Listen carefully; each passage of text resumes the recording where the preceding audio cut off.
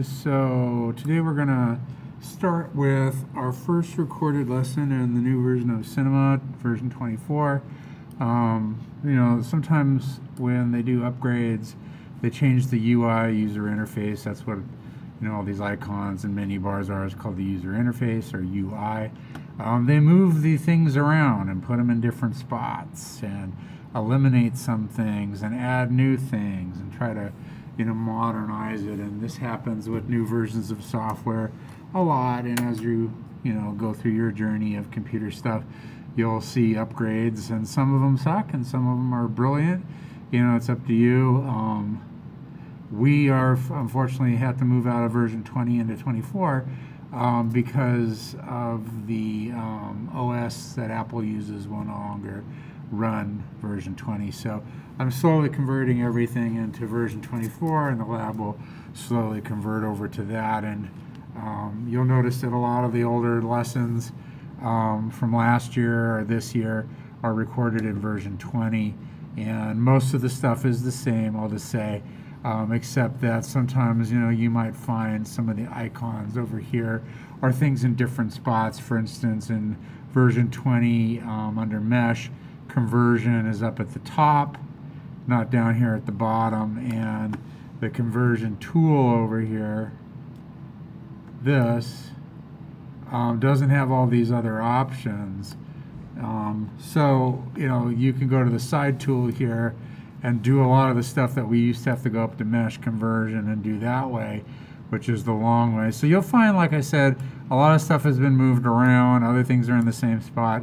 I think if you just explore a little bit, once you learn how to do it in one way, it's not that hard to learn how to do it in another way, like version of software-wise. So um, uh, do your best to adapt. Give me a break because I'm, uh, I'm just, you know, first time kind of like going in and trying to uh, switch these lessons over to the new version too. And so you know, please forgive me if I grope around for a minute looking for like, where'd they stick it? Because sometimes you have to like search around and go like, okay, where did they put that option? They used to be in another spot, if you understand my meaning. Um, but basically, it's the same software with the same stuff. They just move some of the things around and other things, they kind of rearrange them um, that you, you commonly used in version 20 this is version 24. So our first project here, now that I'm like on with this long-winded thing of why this looks different, is going to be a looping, like perpetual animation. It looks like a, you know, like a perpetual, endless looping animation or engine. Um, so we're going to start off with um, a new file with new and improved newness. We're going to make a cube. The cube is going to be, um, we're going to go over here to attributes, it says attributes there, no longer says it on the side. Um, we're going to go to where it says object right there, and we're going to make it um, 15 on the X, and then 100 on the other two dimensions, okay? And then what we're going to do is we're going to convert it. So I would just go over here to your um, conversion uh, tool, make editable, and just make editable. And then we're going to go to your edge tool here and we're going to select some edges. So we'll get that edge, this edge, that edge, oops, and um, let me zoom back out and then we're going to, I keep trying to, we've been working in ZBrush for a long time so I keep trying to do the ZBrush shortcuts. It's like when you play a video game and you learn all the the moves, and then you play a new video game, and um, you try to do the same thing when it's a different um, thing on the controller. So I'm going to go ahead and get that one. So we got all um, four. Um, oops, looks like I deselected them by mistake. So let's get all four. Did I get that one? I can't. I did couldn't see it, it's a little dark. Um, all right, so we're gonna go to Bevel. Bevel used to be buried under Mesh in another area, Create Tools or something. Now it's just there, so you can just go to Bevel. And uh, Bevel, we're gonna go to the offset over here uh, and the subdivision. So let's subdivide it 10 times and we'll do an offset of 10. So we're kind of rounding the edges there. Um, and you can expand that if you want to go up to 15. Maybe 15 looks nice, or I don't know, it's up to you. And then I'm going to go ahead and go to loop selection. And we're going to get that part. And hold down our shift key to get multiple selections. And get the other one. And then we're going to go to bevel under mesh again. And uh, this time we are going to make it maybe, you could type in the number if, you know, it starts getting crazy. Uh, we'll just make it like one centimeter. That kind of rounds off the edges. All right, so back to the modeling tool over here. Now we're going to clone. So we have, there's a cloner right here now. It's just like out in the open. Or you can go to MoGraph Cloner and put the cube in the cloner. The cloner is a default now, clones as a grid, um, not a linear. So we're going to go put it on, um, at this point I'm assuming that you've done a bunch in the older version of Cinema. Um, we're going to go to mode and these are the types of um, uh, clones that we have available. So we're going to do a linear clone. And then we have a number of how many clones you want. So I'm going to say 50 right here. And then it has a PSR, rotate, scale, position for how do you want the clones to move around. Right now, if you notice, they're moving upwards. Okay, and then if I go that way, they'll go like steps or whatever. So I don't want that though. I want to go to um, X and I want to move them apart maybe 16 something like that so you can see uh, so they're not like touching each other but they're barely apart. Like that. That looks pretty groovy. All right now uh, a cloner gets affected by effectors. So we're going to go put an effector on our cloner. The trick with getting it to apply to the cloner is to have the cloner selected when you go get the effector and it'll automatically apply itself. If, however, um, you do not, there's still a way to do it. I'm going to go to plane effector and if you're like, well, did it apply? Did it not? You can click on your cloner and um, go to effector button down here and you can see there's plane. If you don't see that, you could always drag the plane and drop it right in there, and then it applies, so it's not that big of a deal. Um, okay, so um, on the plane, we want to have a fall off. A fall off is how it kind of fades away and fades in, beginning and ending. Like sometimes it's abrupt or sometimes it's a slow, you know, and that kind of thing. And so fall off sounds like it is it's kind of a logical name we're going to go put it on linear field and when you do that it's going to get all green like this which I don't particularly like that color so if you go to your color wheel you can click on the color wheel and then just you know pick whatever color you want. And you can kind of see why does it look like it's fading? Because that's the fall off so you can see where it'll end and begin okay? And um, the linear uh, field, we're going to go to coordinates, and I'm going to put it at 100 on the x. We're going to kind of move it over here. I must have moved something earlier, so, uh, or let's see, maybe the cloner, I have it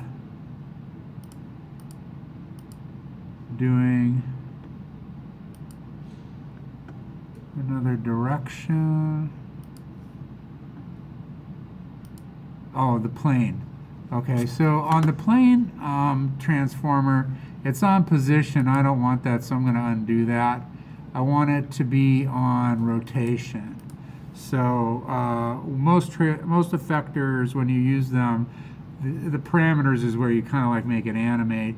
I mean, it does stuff under effector too, but um, parameters is where you can keyframe it to scale, position, or rotate and do like all the physical stuff. um, for the three dimensions. And so we're going to put it right there. Um, so let's place the cloner. We're going to go to uh, coordinates and let's position that at negative 100. And then we're going to position the linear field at um, 100. Like that. So negative 100 for the cloner, positive 100 for the linear field. And now we will animate it. So to animate it, we need to add about 200 keyframes to the movie. So, oops, I typed in 100. 200 keyframes to the movie. So down here, it's a look. It looks a little different. You have the um, similar frame counters and how to put more frames in your movie, or just that this looks different. You have the same play tools and stuff like that. Same coordinate. Most of the palettes are the same. They just like kind of move the meat around on the plate as the expression goes. So, um, or the food around on the plate. Um, so let us, um, we added more frames and we're going to animate it. All right, so to animate it, we are going to animate the cloner through the linear field or the plane uh, effector. So it passes through it and causes a rotation. Um, understand? So um, we want, um, let me show you. So we want on the plane deformer rotation. The linear field we don't do anything to. And the cloner would just move it back and forth between that. So that will give us this negative and positive position will give us this endless animation, looping animation. All right, so let's go back. All right, so um, on the plane effector, I'm going to go to rotation, and uh, I want to rotate it. Um, you can see like, nope, that's not the direction. Uh, what if it's on the, like if you're trying to see like, is it the P? It is the P. So we're going to go to HPB right there. Zoom in. And we're going to go to the P. You don't have the keyframe and We're just going to type in 270. 200 will actually work just fine, but I like um, 270, but like we can put it on 200. And you can kind of see it doesn't, it doesn't um, rotate as much, but it's, you know, that's fine. The numbers, like, you know, you can mess with it. We don't have the keyframe, we just have to leave it there. All right, so let's go to the cloner. The cloner is what we're going to animate under coordinates. So we're going to start at frame negative uh, on the x, negative 100 on frame 0 down here. So remember, we have to always have a beginning and an ending keyframe for all animations, which tell the computer what is it doing and when is it doing it at the beginning and what is it doing and where is it doing it at the ending, like what times. That's what we have a timeline, a linear timeline, okay? Um, so from beginning to end, we all we think in linear time anyways, unless you're a Buddhist and you think in circular time. Um, all right, so I'm going to put this scrubber, that's this little nub down here in the timeline and I'm dragging back and forth. At frame zero, we click on the bullet, and that is animated now or recorded, that keyframe. I'm going to scrub to the end, frame 200, and I'm going to put it on frame negative 300, and then hit record. All right, and then let's see.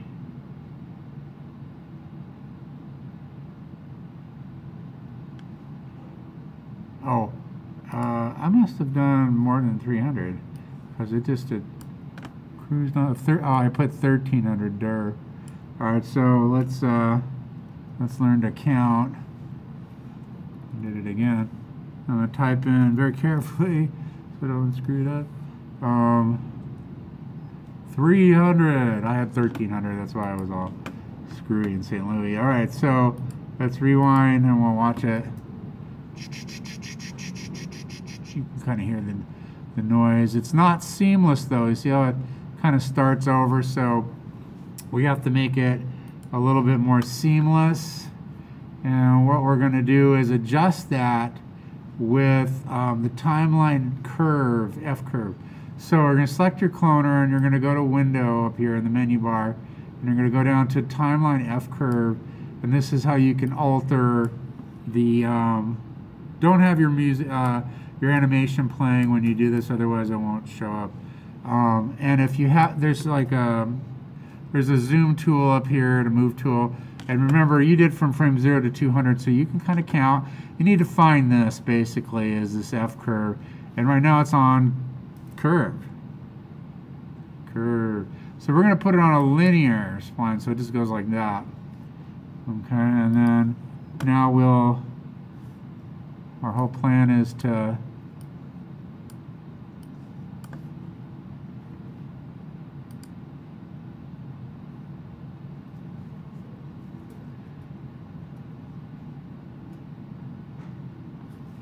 And like I said, you know, on the linear, I mean, uh, on the plane, where you were going to parameters, you can see like 200 keeps it angular over there. So I want it to be flat. So you could do like 180 or 200 or I think I was doing 270 before. You know, find your groove over there.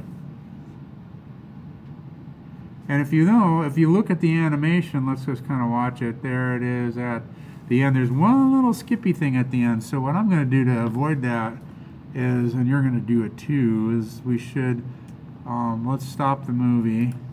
We're going to go over here and we're going to put it on um, 195. So we're going to end it five frames before. Yeah, we'll just see what that looks like.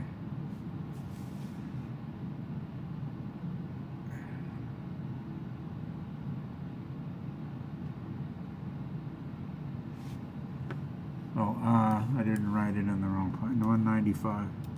There we go.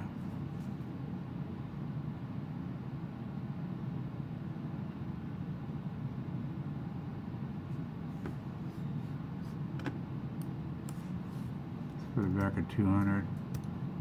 See if we can make it smoother.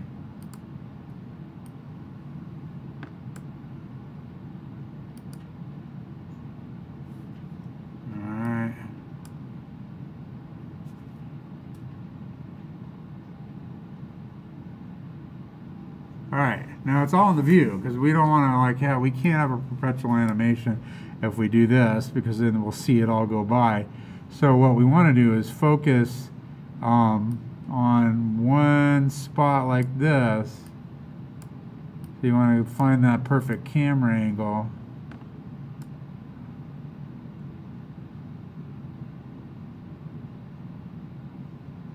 And we want to make sure we don't have any of that I'm having a little bit of a skip there. I shouldn't be doing that. There we go. That's gone. I think it was just playing catch up with the processor. All right, so I think it's pretty.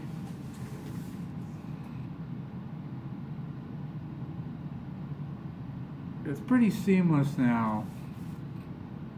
There's one little skip. I'm going to stop the animation scrub to the end here. Oh, I undid the 195. Let's try the, let's try like 198. Just ending the movie a little bit sooner. No, let's try 201. Just have to find our perfect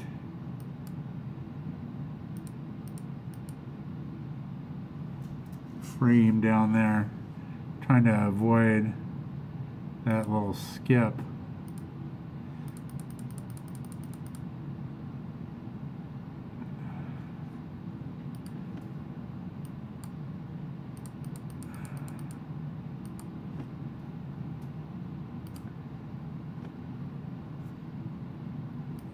All right, good enough.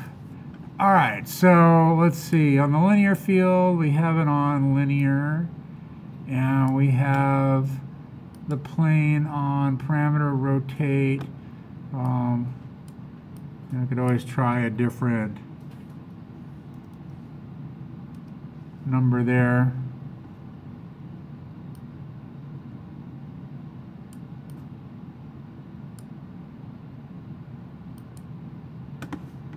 And uh, see, yeah, see that skips a little bit too much.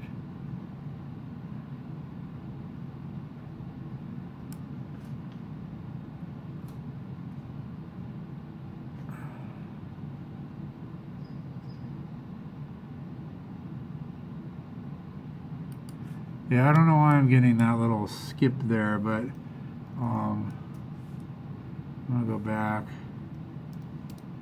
All right. So, let's see, what are we going to do now?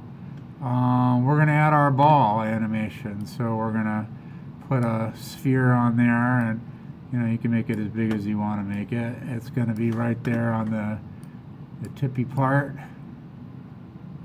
And I shouldn't have that little skip. I think it's a glitch right now. I gave it the same numbers as before. I think you'll be okay. And I'm going to make it have more segments to be smoother. We'll say like 75 or something. And like I said, you can make it as big as you want.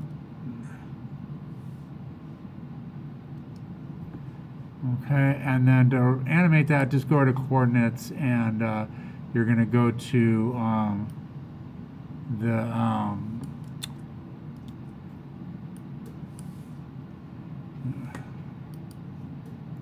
of it on. Let's see, I don't remember which one, so I'm to, I'm just guesstimating. Okay, the B is where we're going to record it.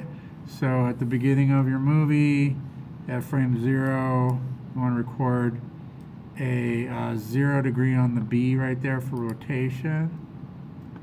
And then at the end of your movie, put it on 360. That's all the way around. And record.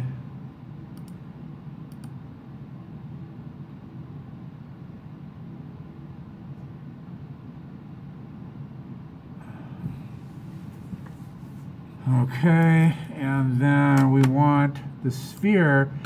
Let's stop the animation and then we'll troubleshoot that little glitch thing that I'm getting, which you shouldn't get if you follow those numbers that I did. But we're going to go to Window, we're going to go to the timeline, F curve again, and uh, we need to find our rotating sphere animation.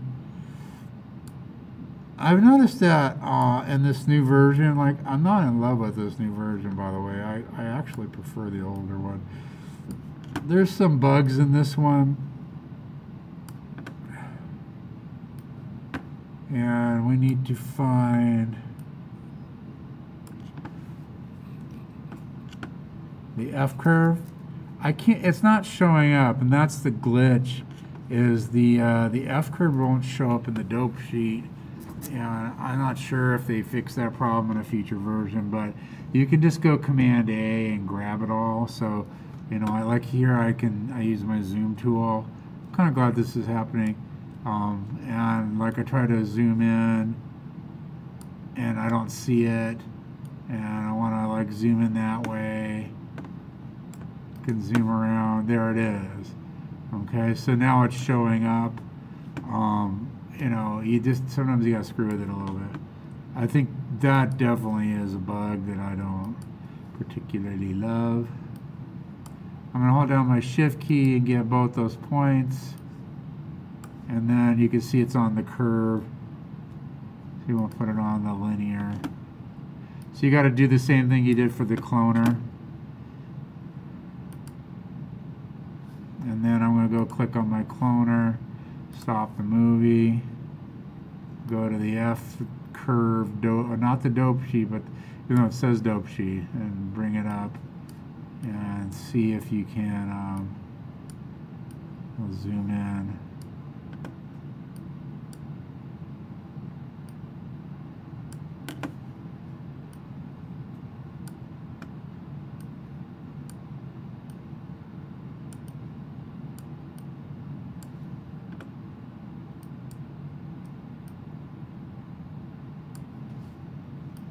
See if that helped, and then I'll come back and explain.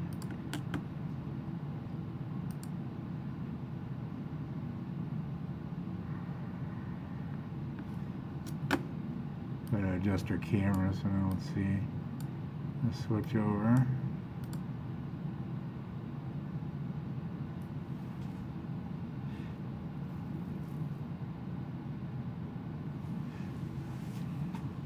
You can see the sphere looks endless and seamless, but for some reason I got that little teeny glitch coming out uh, right now, which I shouldn't be getting. Um, but if you do get that, we'll troubleshoot it in class. Um, what you should have, and we'll go look at one that I did earlier, best laid plans, is a seamless animation.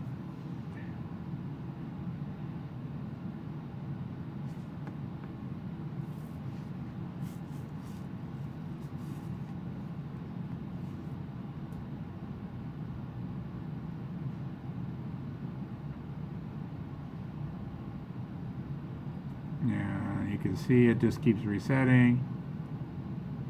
And it doesn't look, there's not much of, there's a, if you really stare at it, you can see the tiniest little pause, like a split nanosecond or something. But the other one shouldn't have that. So remember your sphere, you're gonna animate it from zero to 195, uh, three, zero degrees to 360 on the keyframes.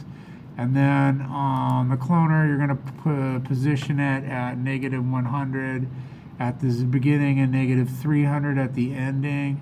Um, I, mine is at 295 because I ended it earlier, and which might be why it's not skipping. Um, and then uh, we're going to go to add a plane effector to the cloner with a linear field. The linear field you don't do anything to unless you want to change its color. Um, you go to color remap and click on the color wheel and pick a new color. Um, just because if it looks crappy to you. Uh, and then under plane effector, we're just going to rotation and putting it on 270 for rotation. 200 to 270, um, you can fiddle with it and see what you like. Uh, and you don't have to really do anything else. And then we add our materials and a physical sky, and we are good to go for our um, uh, illusion of perpetual looping animation. And the loop happens because the cloner is moving one direction part and like a just a section it's moving uh, well the whole thing's moving but it's uh, being affected by the linear field, which is in a specific spot, and then the, the cloner is going the opposite direction as it animates, and it falls within our little time thing. And then also that we went to the um, timeline F curve, and uh, we got rid of that. Um, we made that F curve linear instead of a curve. This part is a problem. It may or may not show up, and so like you have to kick it in the butt like I did, where I had to like zoom in and out to get it to show up because uh, sometimes it may not appear and it'll just glitch up on you. And then you might be asking, like, why are we using this version then? Well, they've since probably fixed these errors, but this is the oldest version um, that still has, or this is the newest version that still has a relatively similar GUI or UI user interface to what you know. And so I don't want to like dive into the new one, the new one, the brand new one that has a completely different user interface. It really looks different, it, and, uh, and the learning curve will be a little bit. I don't want to start at you know the basics again when you already know how to do a lot of the stuff. And this one's very similar, so we'll just have to put up with a few little minor bugs here and there. Otherwise, it's not terrible. It's a pretty good upgrade for the most part. Uh, and we're gonna do we're gonna do our motion graphics project um, using the new version, I think. Alright, so that ends the lesson. Goodbye.